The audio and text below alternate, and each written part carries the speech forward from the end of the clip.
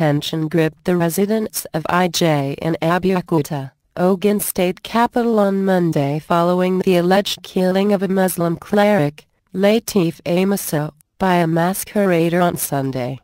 Also, the police command in the state said it arrested four suspects, including a masquerader, for the killing.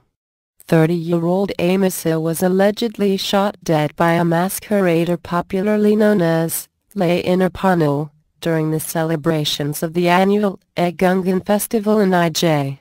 The victim, who was said to be riding on a motorcycle, allegedly defied the earlier warning from the masquerade to disembark from the motorbike shortly before the incident occurred. The alleged defiance of the masquerader's order by the deceased resulted in the former shooting at the Islamic cleric who immediately fell and died on the spot. The killing infuriated members of his sect who on Monday morning invaded IJ, armed with kegs of petrol and other dangerous weapons and attacked the family house of the masquerader which they set ablaze. The sect members were said to have also removed the masquerader's costume which they dragged to the street entrance before setting it ablaze. They also destroyed the masquerader's other paraphernalia.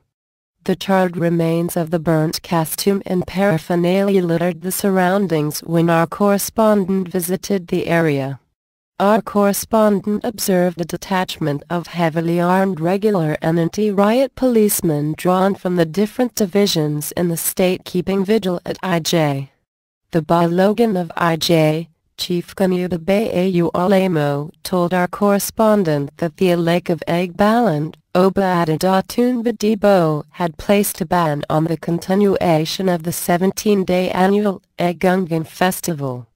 The police public relations officer, Muyiwa Adejobi, who confirmed the arrests of four suspects, said the commissioner of police, Ikemefuna Okoye, had ordered a thorough investigation into the matter. Adejobi, an assistant superintendent of police said, the camp has also ordered that all masquerade outings and festivals in the state be put on hold till further notice. The police spokesman added that, that the masquerader and the other suspects would be charged to court as soon as investigations into the matter were concluded. Punch Nigeria